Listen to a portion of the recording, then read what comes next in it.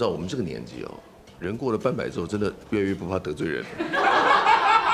十月二十二号两天，那么典礼呢，大家将可以透过三立都会台、公共电视台、三立 MOD 戏剧台收看。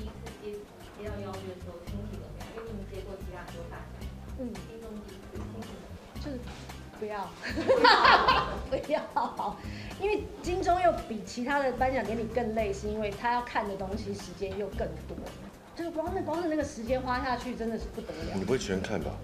我尽量看，他是。我会尽量看。哇，然后可是今年我觉得不做，我又觉得很扼腕，是因为大家都可以意识到今年的金钟真的不一样，不只是因为分两天，而是因为今年金钟，尤其是戏剧类那个能量，就是有点像是之前蹲了很久，今年总算要整个大爆发那种感觉。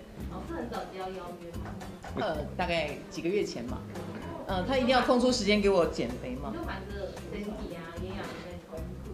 其实我觉得嗯有点瞒不住亚伦，他很敏感，他非常敏感，因为因为他之前约我减肥我都不减，然后后来他他发现我居然不吃了，他就说你哎呦，有鬼！哦！哎呦，这么敏感他很，强，他很强。他就他就一直在那边嗯嗯嗯，然后我就很心虚，然后这有什么好不说？又不是怀孕，你干嘛呢？这瞒着干嘛？这个有什么问题？不是我们要保密啊，我不能讲是吧？对三个月以后才能对，三个月才能讲。你还接这个？三个月你也说得出口。你还接这个？后来大概上个礼上个月不是走漏消息了嘛对，然后那个他就说我早就猜到了，可能全体入围的得奖的，可能也大家要有共识了，因为这整个典礼又不是一个人的典礼。我想你真的，你真的，你真的太过于感动了，太过感性了，一讲讲十五分钟，跟终身成就奖一样。他妈，这个也不是，这也太，你知道，这也就你也太感动了。那后台得奖感哎，对，后面很多还有得奖感言可以分享嘛。对，所以在台上，其实大家把握机会，我觉得这是一个共识的问题，这没有什么好。陈哥说重话哈。这不叫说重话，这是这是心里话，这不是说重话。再多的感动也不用讲那么久嘛，对吧？这这这就是重话，对不同天不同天，对。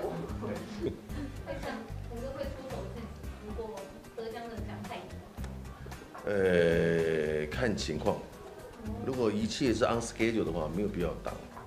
我现在已经超时十五分钟了，他这边还在讲，而且早就画圈圈了，他无视于画圈圈，画了画的手都快断了，他还在那边，嗯，那我可能，因为你知道我们这个年纪哦，人过了半百之后，真的越来越不怕得罪人。这一点可以期待哦。我觉得这个事儿我一点都不担心，因为很多事情是有道理的嘛。你不讲你不讲道理的话，那我不不制止怎么行呢？对大概就是这个意思嘛，对吧？大家都是台湾人嘛，干嘛呢？哎，突然之间讲这个？何苦自己人为难自己人？